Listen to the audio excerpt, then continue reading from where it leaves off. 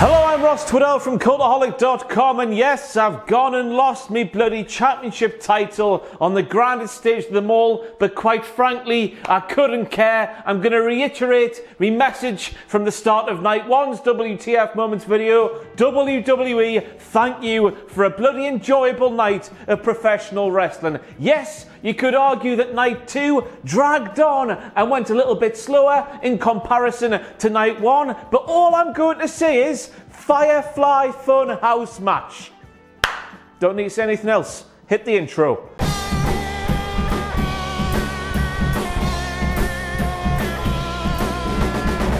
WTF! WTF! To the start of the kickoff show we go, and we were told when the kickoff show came straight on the air that Gronk was coming back for a second night, and the night was ruined before it even began. I cannot have been the only person watching night one hoping that Vince McMahon was sat in his chair watching Gronk doing whatever Gronk was doing, thinking to himself, What the hell is that, Gronk? You're fired! It's a shame he didn't. Somebody find out where Peter Rosenberg keeps his crystal ball because he's been looking forward to that match there since the Royal Rumble. Yes, of course, Edge pulled a fast one over that no good snack Randy Orton in the Royal Rumble match, but nobody could have seen what happened after the Royal Rumble, resulting in that match happening there. I don't care what you say, Pete. One Cultaholic sign at WrestleMania 36. Get in there. We've got to take what we can get under the circumstances, don't we? But on a more serious note, a big thank you goes out to Cody and Colton Kaiser and Manal Patel for showing me what they would have done if WrestleMania 36 had taken place as it originally would have before this all kicked off. If you ever get to go to a wrestling show ever again, do what they did. Are there any adverts John Cena does not do these days? Two days in a row this weekend, we've seen John Cena riding a purple cow, and then last night, on night two of WrestleMania 36, he's eating crisps. As if John Cena actually eats crisps. I eat a lot of crisps, and I don't look like John Cena, do I? But Takis, you have a crisp called Fuego and you have a wrestling person involved in your advertisement for this crisp called Fuego and you don't ask Mauro Ranallo what the hell's wrong with you, man? Hang on a second there, there's actual liquid in Big Terry Ford's cup. He brought that cup away from his face and he made the noise, a noise that can only be made when you've got a lot of drink inside your mouth. Big Terry Ford cannot have that much saliva in his mouth. I'm not buying it. But I'm making this a WTF moment because I always thought Big Terry Ford had nothing in that cup. But he did at WrestleMania. Why? But it turns out that Peter Rosenberg is an actual angel, which is, of course, a huge WTF moment because he asked the question Is there anybody more charismatic in the entire WWE than the Street Profits? You thought he was going to say Montez Ford and Montez Ford alone right there as well, didn't you? I did, and he fooled me. God bless you, Peter. Oscar! Oscar! Neighbours, neighbours, neighbours. But the question has to be asked why did Natalya want former WWE Women's Tag Team Champion Asuka right there and then?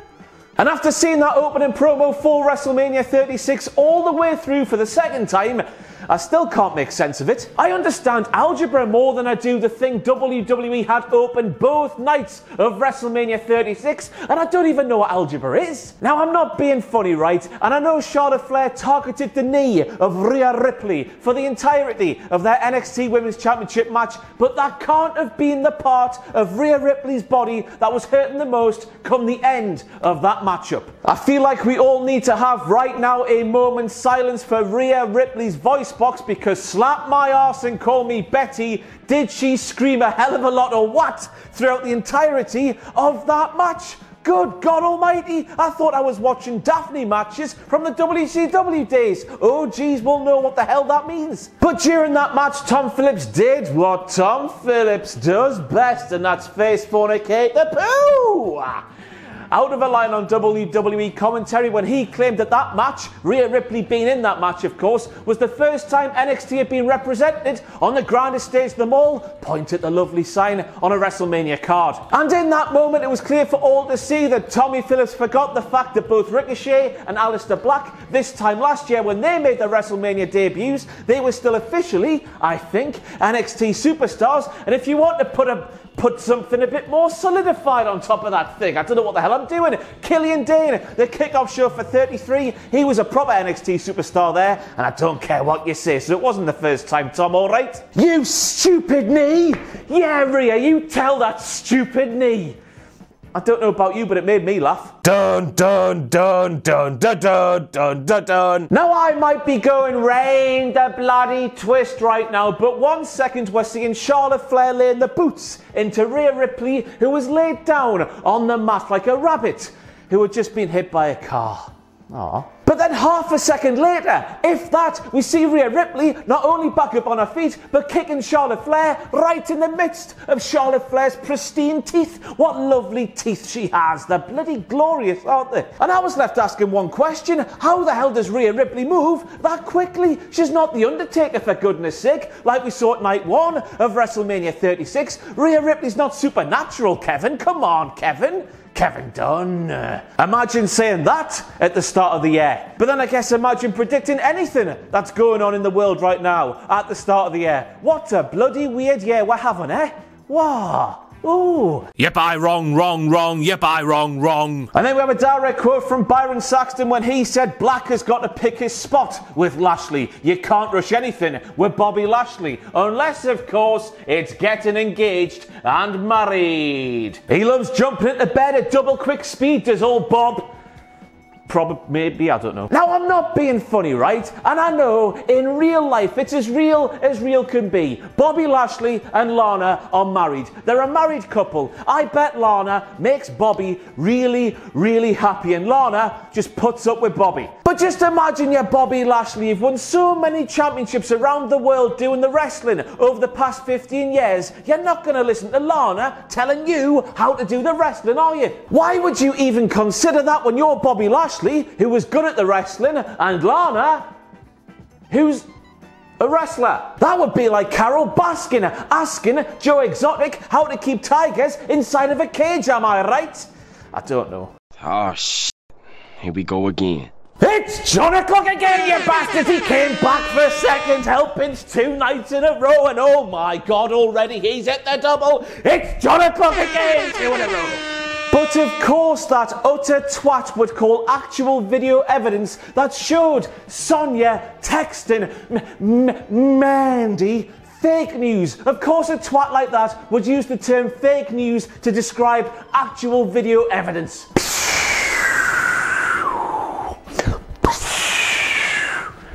You've got to love Dolph Ziggler doing his own pyro sound effects, don't you? Oh, how can he? What a lovely moment. Oh my, god. Oh my god, it's so beautiful.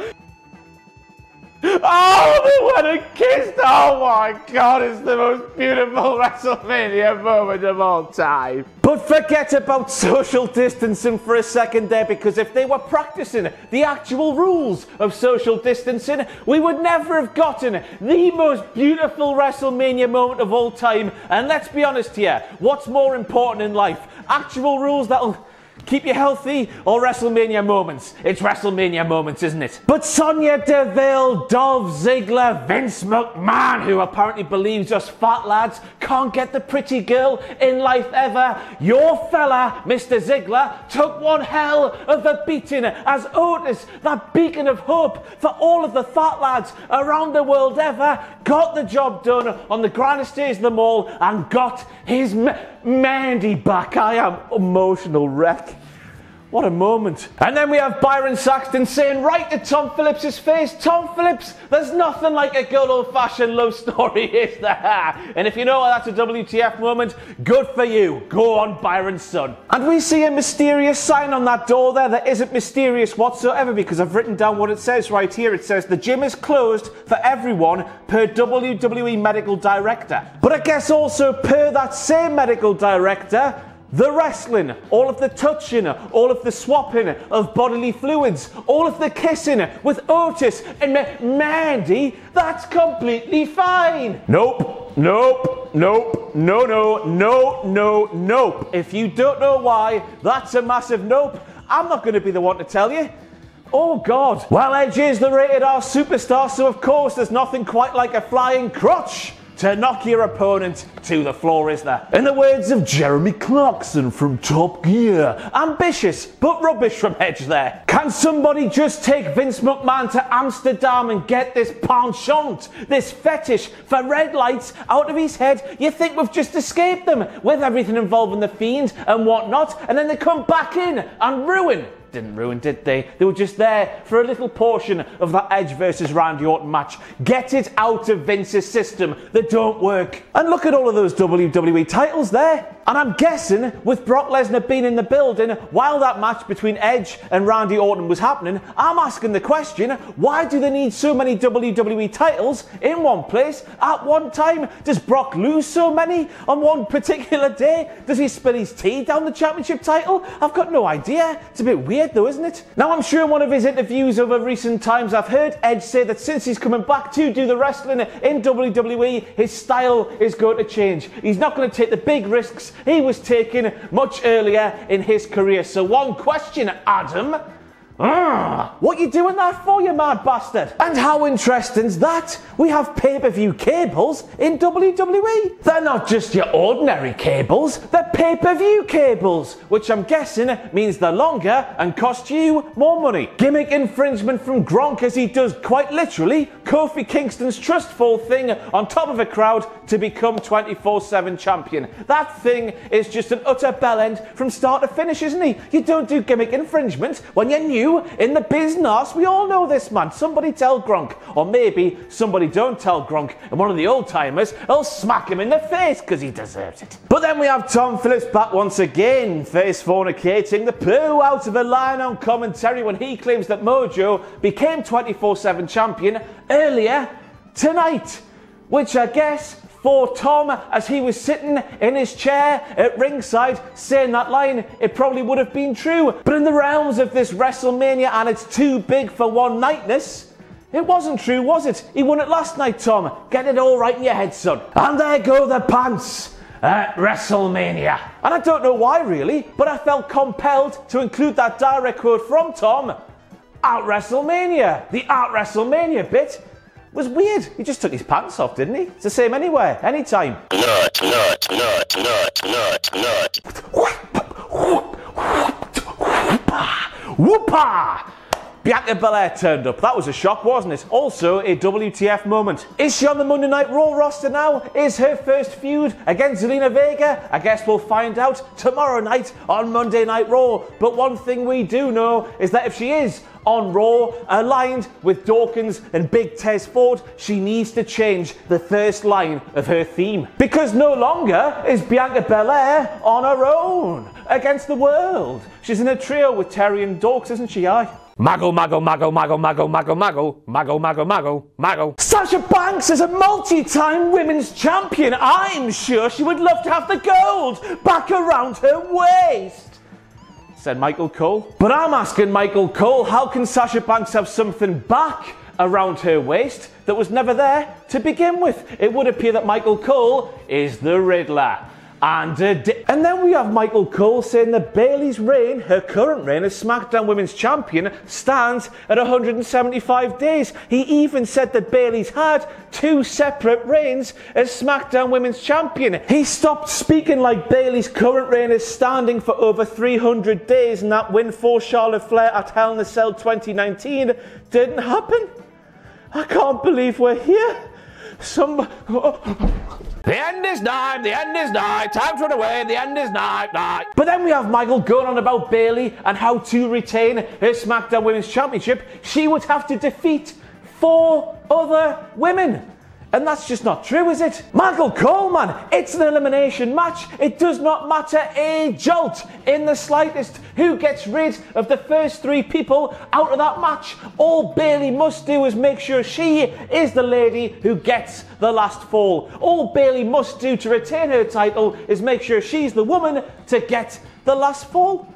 What you on about, man? Finally, I mean, it took nearly one and three quarter WrestleManias, bad good, but finally, a wrestler wrestling in the wrestling ring at WrestleMania 36 interacted with one of the commentators. I found it so weird that with no crowd and no noise inside the arena, Michael Cole and Pal sat at ringside, screaming at the top of their lungs. Obviously, the wrestlers inside the ring must be able to hear the commentators, but nobody spoke to them. It was weird, especially when the commentators were besmirching their good name. But thank goodness for Bayley, who said, no, they didn't. Like Seth Rollins, apparently, in response to Michael Cole claiming that both she and Sasha Banks almost got eliminated at the same time. Well done, Pamela. You stupid bellend referee with your stupid, massive, thick caterpillar eyebrows. You screwed the Tamina train and you robbed Tamina of her WrestleMania moment and her first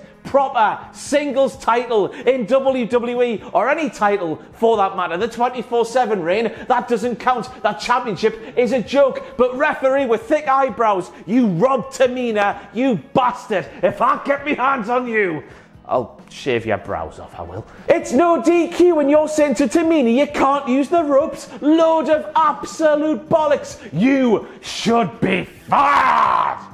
Oh, that really made me angry. Tamina was robbed. And then we got to the Firefly Funhouse thing. It wasn't a match, and whoa! There's a lot to digest here. Question number one How the hell did John Cena get from the stage to inside the house? Question number two How the hell did Bray Wyatt get John Cena dressed in his old undercrackers and the rest of the costumes he had John dressed up in for that matter? How? You can look, but you can't touch. Oh, Bray, you saucy bastard, singing that right in the face of John Cena after everything that happened between him and Nikki Bella. You have balls, son. Lovely balls. And then we have a direct quote from 1980s Bray Wyatt when he says, My tag team partner is such a physical specimen, you can't help but worship him. Why? Here's why. Because that's what being a stud is all about having muscles, no matter what little talent you possess. And that, my friend, is what my tag partner, Johnny Large Meat, is all about. So not only did Bray Wyatt call John Cena Johnny Large Meat, but he also claimed John Cena has no talent but a lot of muscles. The balls on Bray. And then we had Johnny Large Meat pumping iron so hard he lost the power in his arms. You know when Jay from the Inbetweeners numbs his arms so it feels like somebody else is doing it? Well, Johnny Large Meat both arms for him. The fans will be excited they just went from 6 to midnight, Johnny Large Meat said, in a rap. But then that line there was followed by canned laughter from children. 6 to midnight, getting excited. That was a joke about the sex, wasn't it? Children's laughter shouldn't be coming after that, should it? Oh! And then something started to happen that we'd never, ever, ever thought we'd see with our own eyes, but something, me personally, I've been hoping for for a very long time. It all started when big old Johnny Largemeat said, because unlike Husky Harris, that's a weight that I can manage. And when I heard that, I was thinking, you're not normal Johnny Boy Large, bout Jonathan Large, Matt Cena, are you, John? Hustle, loyalty, and respect, pa. Respect, pa. Rise above hate. You're not doing that there, are you, you bully? But then the heel John Cena doubled down and said, You're a slut for opportunity because you're blowing every chance. Oral sex joke. He's in a children's funhouse thing. Oh my goodness. But also, John Cena calling Bray Wyatt a slut. A slut at WrestleMania. How did that get past Vince McMahon? What is going on? And then if Bray Wyatt being Eric Bischoff wasn't enough for you, bloody hell, it finally happened. John Cena walked out as Hollywood Johnny Large Meat. My God, the heel turn finally happened. The end is nigh, the end is nigh, time run away, the end is nigh, nigh. This is such good shit. Said puppet Vince McMahon, or was it real Vince McMahon, or was it puppet Vince McMahon? I don't know. This match was too much to compute, too much to take in, too much was happening. I'm still not quite sure what the hell this thing was that we saw last night. Am I alive? Is this camera real? What, what is? Good. And then we get to the voiceover that was heard while that shot there was on screen as we heard Cena from a recent SmackDown saying this WrestleMania match is going to accomplish what should have happened six years ago, ending the existence of the most overhyped, overvalued, overprivileged WWE superstar in existence. I think I said overprivileged. Wrong there, so I've just corrected myself because I can't be asked to read it all again. But the wonderful thing about that soundbite is the fact it was played just before Bray Wyatt, or The Fiend at least, murdered John Cena. Poof! We heard that soundbite and he was gone. And who would have thought heading into this WrestleMania 36 weekend, we would have seen the untimely murders of both AJ Styles and John Cena? They're both gone. E goodness. And we're all Titus O'Neil right there, aren't we? Aren't we? What? But I think it's quite simple what happened to John Cena here. I do believe firmly, with all my heart, that John Cena was invited round to the Firefly Funhouse for a cup of tea. But what John Cena didn't realise is that the Fiend Bray Wyatt, or normalish Bray Wyatt, who knows, who gives a toss, he slipped some LSD and or pencil shavings into that cup of tea, Cena necked it back, he was tripping balls, and we saw what Cena saw. Because I'm not sure what other explanation you can have for that thing. I was about to say match there. It's not a match, it's a thing. Let me know your explanation for what we saw inside the Firefly Funhouse because I want to know every single possibility for that thing. I can. It was amazing though. The best thing. But I've got to mention it, I guess, just go and look at John Cena's Instagram account immediately after that match against Bray Wyatt had finished. Why, way, it's too much, isn't it? Too much to compute. Paul Heyman not taking the mic off the ring announcer so he could do big ring announcement thing. Is Paul okay? And then we end with Drew McIntyre winning the WWE Championship. And I know you at home will want me to talk about how that match between Drew and Brock was basically exactly the same as the Universal Championship match between Braun and Bill. But to be honest with you, I couldn't give a toss because Drew McIntyre is the WWE Champion. Drew McIntyre is the first British WWE World Champion, and I'm proud as punch I am. What a lovely end to WrestleMania weekend. WWE, me hats off to you for pulling a rabbit out your arsehole against all of the odds. They did well, didn't they? They did well. The positives far outweigh the negatives. And I think that's just a great thing because expectations could not have been lower heading in to this WrestleMania weekend, could they? But they produced something that made us forget about the issues in the world at the minute. Viva la wrestling! Go on, Drew McIntyre. I'm away for a sleep.